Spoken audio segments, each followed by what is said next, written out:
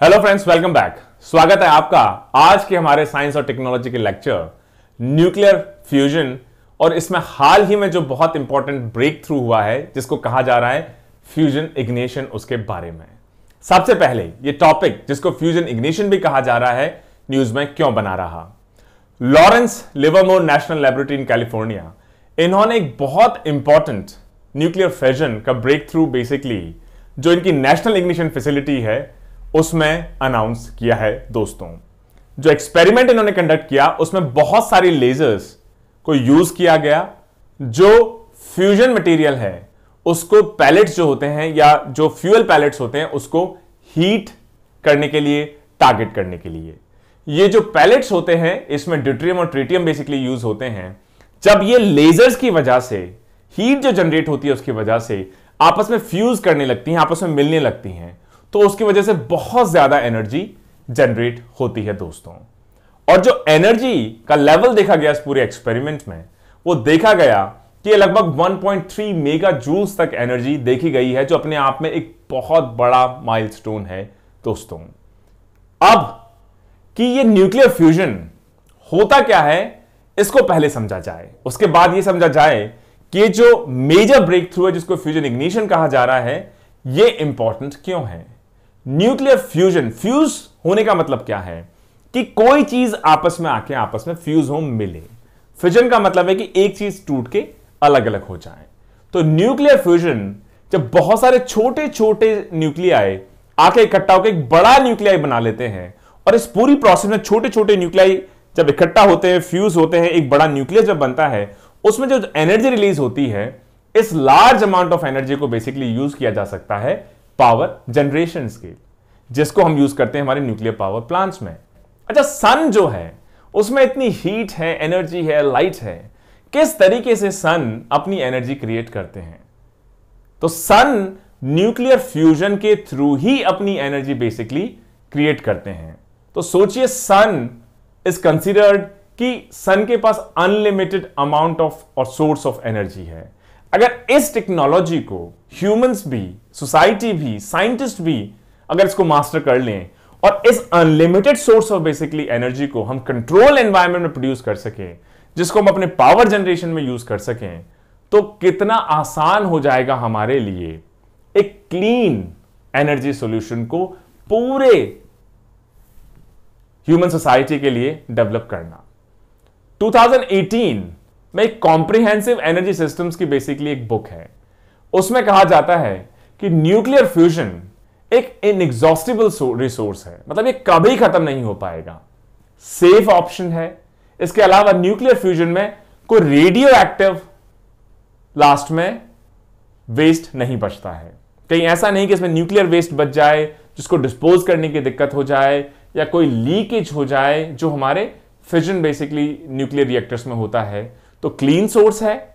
कभी खत्म नहीं होने वाला सोर्स है। कोई रेडियो एक्टिव वेस्ट इसके बाद नहीं बचेगा और almost zero CO two emission है। कोई कार्बन डाइऑक्साइड भी बेसिकली इसमें प्रोड्यूस नहीं होगी। एकदम क्लीन कभी खत्म नहीं होगा सेफ़ और बिना रेडियो एक्टिव वेस्ट का एक ये बहुत पावरफुल एनर्जी सॉल्यूशन हो सकता है। अच्छा एडवांटेजेस क्या है न्यूक्लियर फ्यूजन के? एक तो अबेंडेंट एनर्जी कि अगर आप इसको कंट्रोल्ड वे में फ्यूज करवा सकें एटम्स को न्यूक्लियाई को तो एक केमिकल रिएक्शन के मुकाबले, मान लीजिए उन्हीं का आप केमिकल रिएक्शन करवाएँ न्यूक्लियाई का, उसके बजाय इनको फ्यूज अगर आप करवा दें तो उस केमिकल रिएक्शन के मुकाबले ये फोर मिलियन टाइम्स ज़्यादा एनर्जी प्रोड्यूस करता है। मतलब लगभग 40 लाख गुना ज़्यादा एनर्जी किसी केमिकल रिएक्शन केमिकल रिएक्शन को आप मान सकते हैं। मान लीजिए आप कोयला जलाते हैं, लकड़ी जलाते हैं ऑयल जलाते हैं गैस बेसिकली आप बर्न करते हैं। उसके मुकाबले फ्यूजन से 40 million time four million times मतलब चालीस लाख गुना ज़्यादा एनर्जी आप प्रोड्यूस कर सकते हैं।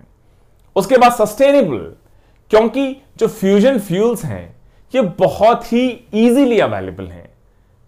फ्यूजन की तरह आज के रिएक्टर्स में फ्यूजन यूज़ करते हैं तो उसमें जो हमको यूरेनियम वगैरह चाहिए होता है फ्यूजन में वो हमें नहीं चाहिए। तो फ्यूजन फ्यूल्स हैं, जैसे डिट्रेरियम है, ये पानी जो है हमारा सी वाटर है वी वाटर है, उससे आप डिस्टिल करके निकाल सकते हैं। इसी तरीके से ट्रिटियम है। ट्रिटियम को आप बेसिकली फ्यूजन न्यूट्रॉन जब लिथियम के साथ इंटरेक्ट करते हैं, उससे क्रिएट कर सकते हैं। तो एक तो अबेंडेंट एनर्जी प्रोड्यूस कर सकते हैं सस्टेनेबल तरीके से कर सकते हैं, और इसमें हार्मफुल गैसेस जैसे कार्बन डाइऑक्साइड है या जो बाकी ग्रीन हाउस गैसेज है मीथेन एटसेट्रा वो भी बेसिकली प्रोड्यूस नहीं होती। तो बहुत ही क्लीन सोल्यूशन है। साथ ही साथ इसमें कोई long lived radioactive waste भी प्रोड्यूस नहीं होता। क्योंकि जो न्यूक्लियर फ्यूजन रिएक्टर्स हैं, इसमें कोई हाई बेसिकली एक्टिविटी नहीं होती, इस वजह से एक बहुत क्लीन सोल्यूशन है। उसके अलावा प्रोलिफरेशन के इसमें कम चांसेस हैं। किसी तरह की स्मगलिंग हो जाए, कोई फ्यूल चुरा ले, जो रेडियो एक्टिव हो, ये चीज़ें भी इसमें नहीं होती, क्योंकि फ्यूजन रिएक्शन में यूरेनियम और प्लूटोनियम जो कि रेडियो एक्टिव नेचर में होते हैं, जो कि फिजन में बेसिकली काम आते हैं, उनका यूज़ नहीं होता। जो ड्यूट्रियम और ट्रीटियम है, वो नॉन रेडियो एक्टिव फ्यूल की तरह यूज़ होते हैं। साथ ही साथ मेल्ट डाउन का कोई रिस्क नहीं है।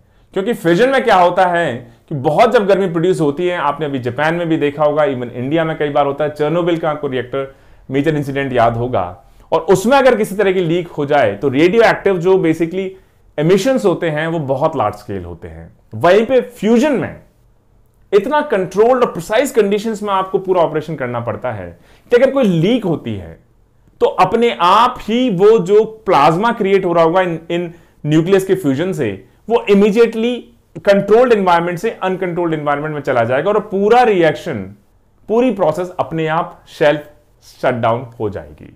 तो बहुत सेफ़ ऑप्शन भी है। इस तरीके से अगर आप देख लें कि ये जो अभी हाल ही में जिसको कहा जा रहा है, क्या कहा जा रहा है? इसको कहा जा रहा है फ्यूजन इग्निशन ये किस तरीके से अचीव किया गया? अभी यह कहा गया कि जो लेजर प्रोसेशन है, इसको बेसिकली इंप्रूव किया गया डिज़ाइन इंप्रूवमेंट्स किए गए, और जो सन के अंदर जिस तरीके से एनर्जी प्रोड्यूस होती है या फ्यूजन क्रिएट होता है, उन्हीं कंडीशंस को लैब कंट्रोल्ड एनवायरमेंट में जनरेट किया गया। और जो रिएक्शंस हैं, इनको बेसिकली अल्फ़ा पार्टिकल्स इनको प्लाज्मा को हीट करने के लिए बम्बार्ड किया गया। बहुत हाई टेम्परेचर बेसिकली जनरेट हुए और ये जो हीटेड प्लाज्मा है, जब प्लाज्मा हीट हो गया लेजर्स की वजह से तो उसमें से जो अल्फ़ा पार्टिकल्स बेसिकली निकले, वो एक सेल्फ सस्टेनिंग रिएक्शन जिसको कहते हैं इग्निशन वो स्टार्ट हो जाता है। जैसे आप इंजन में जब चाबी लगाते हैं स्टार्ट करते हैं, एक स्पार्क जाता है फ्यूल को जलाना शुरू कर देता है। अब जब उस इंजन के अंदर ही इतनी गर्मी पैदा हो जाती है कि जब आप नया फ्यूल डालेंगे तो आपको नया स्पार्क नहीं देना पड़ेगा, वो अपने आप ही इग्नाइट होता चला जाएगा। तो यही कंडीशंस आपने फ्यूजन इग्निशन में जनरेट की। कि शुरुआत में आपने लेजर्स यूज़ की बेसिकली फ्यूल को हीट करने के लिए फ्यूज करने के लिए। जब फ्यूज होना शुरू हो गया तो खुद ही इतना बेसिकली टेम्परेचर रिलीज़ कर दिया अल्फ़ा पार्टिकल्स रिलीज़ करने लग गया, कि पूरा रिएक्शन सेल्फ सस्टेनिंग हो गया। आपको अलग से फ्यूल के अलावा और कोई चीज़ सप्लाई नहीं करनी पड़ी, दोस्तों। तो सन जैसे अपने आप अपनी एनर्जी लगातार जनरेट करता रहता है, हम लैब में भी या फ्यूजन न्यूक्लियर रिएक्टर्स में भी इस प्रोसेस को रेप्लीकेट कर सकते हैं। अब यह बात समझ में आ जाए कि इस एक्सपेरिमेंट से फ़ायदा क्या है। इससे फ़ायदा यह है कि यह शायद पहली बार हुआ है कि न्यूक्लियर फ्यूजन में जो सन में प्रोसेस होता है, उसके थ्रू इसको पूरी तरह कंट्रोल्ड एनवायरमेंट लैब में इसको रेप्लीकेट कर लिया गया है। इसके अलावा यह भी समझा जाता है कि जो प्रोसेस या फ्यूजन इग्निशन हमने जनरेट किया है, इसको अब स्केल अप किया जाएगा। इसको स्केल अप किया जाएगा, इसको बड़े रिएक्टर्स में तब्दील किया जाएगा। और अभी न्यूक्लियर अगर आप एनर्जी के बारे में देख लें तो न्यूक्लियर फिजन रिएक्शन पे जो बेस्ड हैं, जिनमें रेडियो एक्टिव एलिमेंट्स यूज़ होते हैं अनसेफ भी बहुत बार हो जाते हैं। इस टेक्नोलॉजी से निजात पाकर हम अनलिमिटेड एनर्जी की तरफ़ बढ़ना शुरू कर देंगे। क्योंकि ड्यूट्रियम और ट्रेटियम हम पानी से बेसिकली कर सकते हैं लिथियम से हम कर सकते हैं रेडिली अवेलेबल है सस्टेनेबल है सेल्फ सस्टेनिंग है क्लीन फ्यूल है। और आगे आने वाले समय में ये जो ग्लोबल वार्मिंग का पूरा इश्यू है कि जिसमें हम ग्रीन हाउस गैसेस एमिट कर रहे हैं, चाहे वो सीओ टू हो मीथेन हो इनका एमिशन भी अपने आप कट डाउन हो जाएगा इस क्लीन एनर्जी सोल्यूशन के बजाय। क्योंकि फिर आपको कोयले की ज़रूरत नहीं पड़ेगी, आपको ऑयल की ज़रूरत नहीं पड़ेगी, आपको गैस की ज़रूरत नहीं पड़ेगी। आप न्यूक्लियर फ्यूजन को लार्ज स्केल लेवल पर ग्लोबली इंप्लीमेंट कर सकते हैं दोस्तों।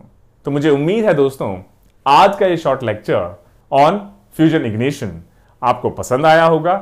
Stay tuned for next set of videos until then जय हिंद जय भारत